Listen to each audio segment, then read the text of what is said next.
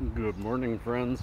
It's Gord here. You're Hurtin Hippie with, I don't know if it's a coffee break, it's a walk, it's morning, it's 8.30. And if you saw yesterday's, I'll just give you a recap. Yesterday I was walking in this direction. It was about plus 28. it was hot, it was beautiful, it was a wonderful day. Today jacket on and I'm a little chilled still. It's about 11 degrees and it's dropping. It will get a, a high. It will keep dropping till 7 Celsius this afternoon. And I'm doing my walk a little earlier than usual because very, very soon the rain is going to hit. And it's supposed to rain all day. They the whole province. The whole province of Alberta has had a rain advisory. It's going to be a very heavy rainfall and all day. So I thought I better get out. Those guys. I better get out and get some of this fresh air while I can because I'm probably going to be shut inside for the rest of the day. I don't mind that. Once in a while, that's okay. And because of the major change in weather, I have a migraine. Tomorrow, it's going back up to hot. So this is just something moving by, changing the barometric pressure, and thereby causing body pain, head pain, neck pain. The CBD is helping hugely. And maybe just this is mostly just a babble. I know some of you appreciate that when there isn't really a theme to the talk it's just let's talk. Uh, but i do want to say you all know that yesterday i had a real tough time uh, because the day before i ate a whole bunch of peanut butter that i shouldn't have eaten. And yesterday it was pretty well all day. Yesterday i was sick today.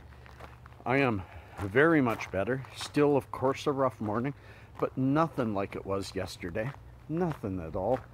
And I still got stuff done yesterday. I, I got the keys to my new place. I can start moving now, and I am going to, maybe not on rainy day, but I am going to start moving right away. I may be completely moved before the end of the month. It's hard to say but I won't have internet at the home, at the new home until June 3. So no matter what, I'm still going to have to do my stuff from this area until June 3rd. It's nice to have things falling together. Everything falling in plan, everything making sense. And uh, so shout out to all of you, all of you who helped me through this. This has not been an easy beginning of the year. But I will say this 2017 is for sure my best year in a decade. My best year in a decade. Oh, I've had super major anxiety this year. But why?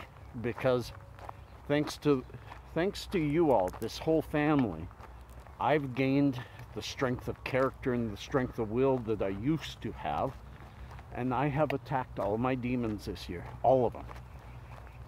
And I've slayed most of them. Not all of them. I'm still working on slaying those demons, but I'm constantly doing it and building my own confidence for every new battle. And I haven't lost a battle yet. Touch wood, birch. Uh, I haven't. Uh, let's say, let's put it this way: none of these battles will get lost because they're all just things that one has to go through. It's not either a win or a lose; it's a do or don't. And if you don't, it hangs over you like a cloud.